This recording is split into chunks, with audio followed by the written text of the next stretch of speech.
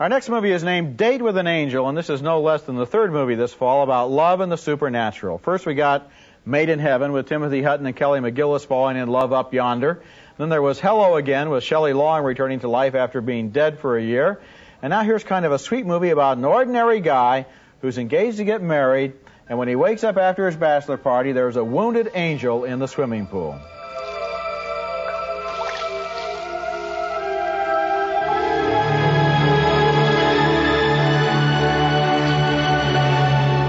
That's Michaeline Knight as the bachelor and a beautiful French newcomer named Emmanuelle Beart as the angel. At first, he doesn't think this can possibly be a real angel. It's got to be a dream. The guy's girlfriend is played by Phoebe Cates, and do you think she believes her fiance is playing around with a real innocent angel? No way. So, want to play tough? I can play plenty tough, sister.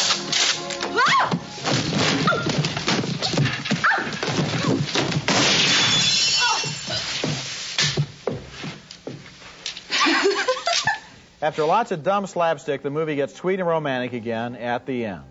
I think it's better that you just go back to where you belong. I've got to go back too. By now, Patty must be.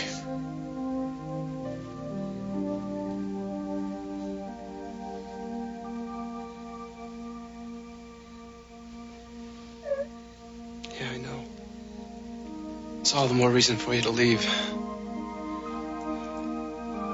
I'm afraid down here those are a common occurrence.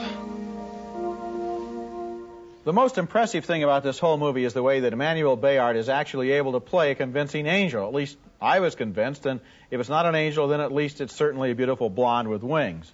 On some kind of a basic level, I liked her performance. In fact, I think you can even guess what that basic level probably was. Sexual. And I liked a lot of the details of her relationship with Michael E. Knight, which is basically pure and idealistic, no matter what it looks like to other people, like Mr. Siskel here. Or yourself. What I could have done without in this movie were all the details about the scandalized parents, the best buddies who want to exploit the angel, and Phoebe Cates playing dumb all the time as the girlfriend when actually she's a very intelligent actress. This had good stuff in the movie from time to time. Emmanuelle Beart is a major new star, kind of a teenage Catherine Deneuve, but thumbs down. Oh, I think you're being so kind. I think this movie is garbage. I mean, flat out, it'll be one of the my worst movies of the year. I have a feeling. First of all, I, it's, it's a simple ripoff of Splash, only instead of fins, uh, you got wings. I did not think she was convincing. I didn't think it was magical. I didn't think the characters surrounding her were interesting. All she does is chirp. Uh, at least uh, the uh, mermaid had to do some interesting things, eating lobster. This woman does nothing interesting. She just chirps a little bit. Phoebe Cates is an interesting actress. I've never seen her more boring. She plays a whiny, snotty brat, and even that's dull. I liked nothing about this picture. You must have been in a very good mood. I see. Well, if I'd been the script doctor on the picture, I would have recommended that Emmanuelle Beart eat some lobster, and then it would have been a better film. Okay. She is a beautiful woman, Gene. Now, so what? There are lots of beautiful women in the world. There are not that many.